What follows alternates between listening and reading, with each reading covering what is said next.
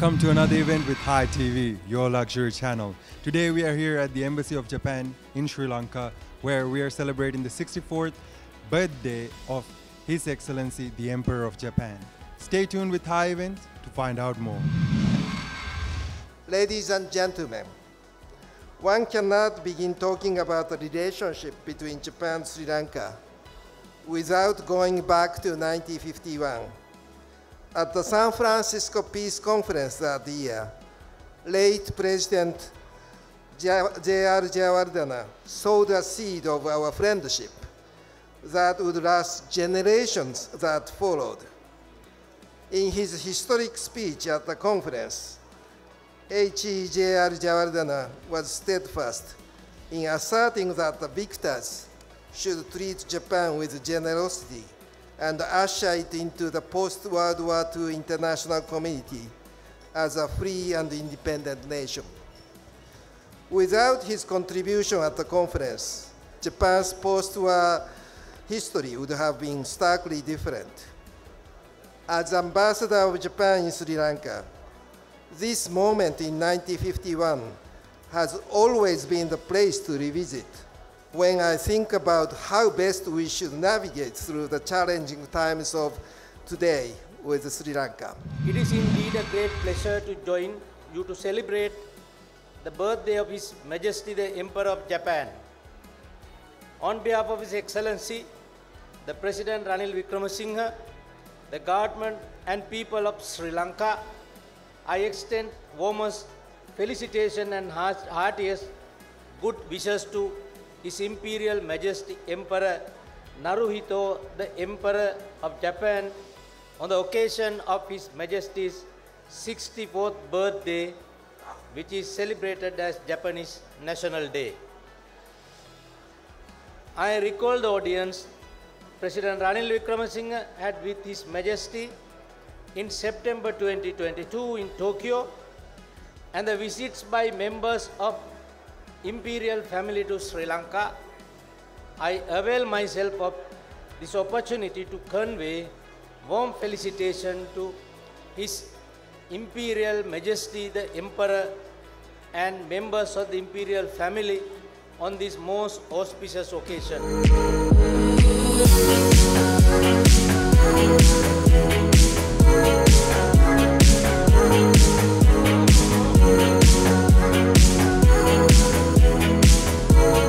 Here with Mr. Vikramarachi. Mr. Vikramarachi, can you tell us about how you are feeling here at the Embassy of Japan on His Majesty's birthday celebration? Yeah, I can see the peace here, and uh, everybody uh, get together and meeting each other.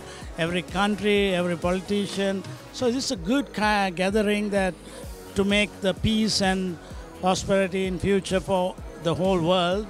So I can see our even our people are together at this moment and getting into understanding how to make the peace in the world and Sri Lanka. So I love it. I love the Hi, getting in this kind of events and keeping us moving forward for the peace.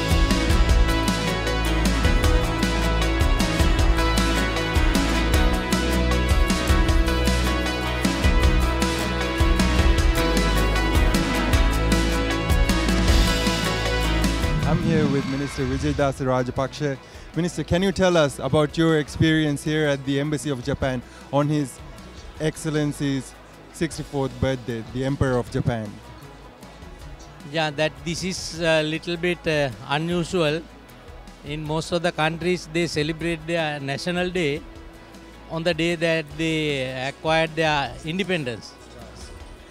But Japanese people are so fond of their emperor, and they treat that uh, that is uh, emperor's birthday, as their national day, and they celebrate.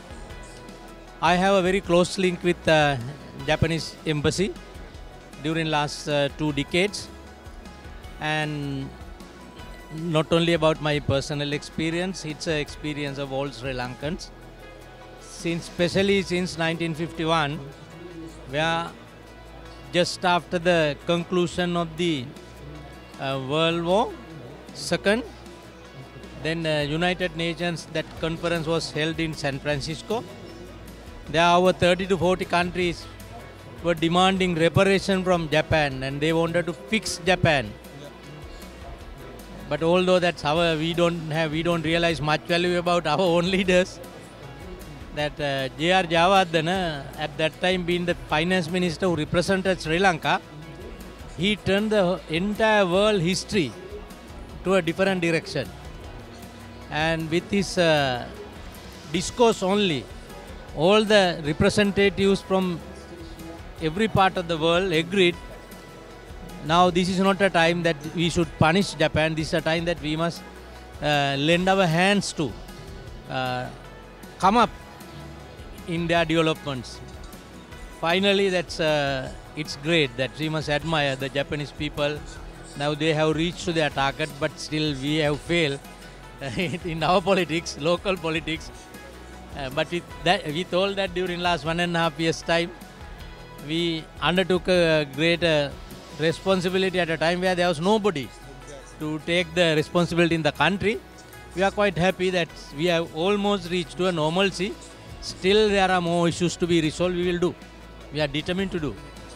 And as history has shown us, where we help, they help us. Is that true of this friendship?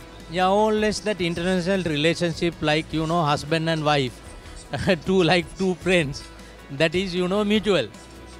That by developing, by strengthening our uh, friendship among two countries, they become stronger, we become stronger. It's mutually beneficial for both. One thing I also must make a special note, uh, without mentioning any other country, one thing I must say, the biggest the support that had been extended to us as a foreign nation without expecting a single penny from us is Japan.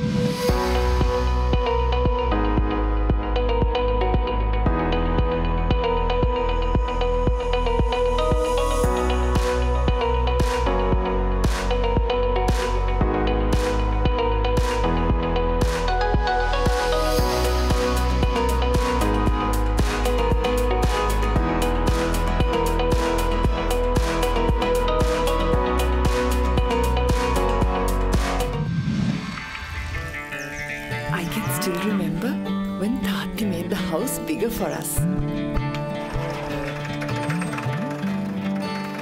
I too played my role in the growth of our town.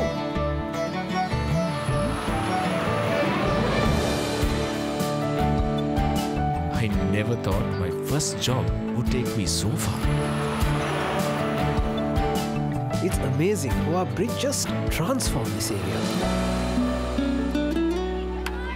Our little school got world class cricket equipment rehabilitating this reef to protect Sri Lanka's heritage and the world's ecosystem. Tati, I'm calling you from the 40th floor. And we're going higher, much, much higher. Binding our stories together, past, present, and future. The Tokyo Cement Group. Colombo Dockyard PLC has been a ship repair and shipbuilding center, serving the regional and international maritime stakeholders since 1974. Colombo Dockyard PLC has evolved into one of the region's leaders in shipbuilding, ship repairs, heavy engineering, and offshore engineering, building on a record that's been tested and proven time and again. Over the past four and a half decades, Colombo Dockyards have proven its capability by successfully handling over 10,000 ship repair projects and more than 250 shipbuilding projects to a multitude of local and international players. Colombo Dockyard PLC, an odyssey of excellence. I'm here with Ambassador Mizukoshi of Japan. Mr. Mizukoshi, can you tell us the significance of His Majesty's, the Emperor of Japan's birthday celebration happening here right at the Embassy of Japan in Sri Lanka? Well, um, the reception for the birthday of the Emperor of Japan, it is, um, you know, celebrated in Japan and overseas. But uh, this celebration in Sri Lanka has a very special meaning at this time because uh, now Sri Lanka's economy is uh, picking up and uh, cooperation between Japan and Sri Lanka have you know made some fruits. So um, it's a good time for celebrating our past cooperation and uh, for me to show commitment to the future cooperation.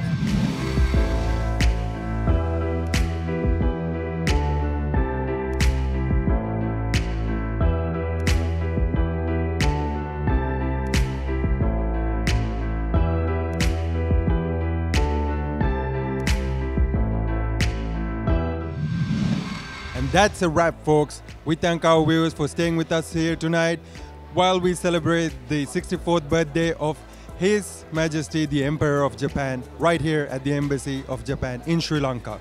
My name is Adisha Chalanka, and until next event, take care.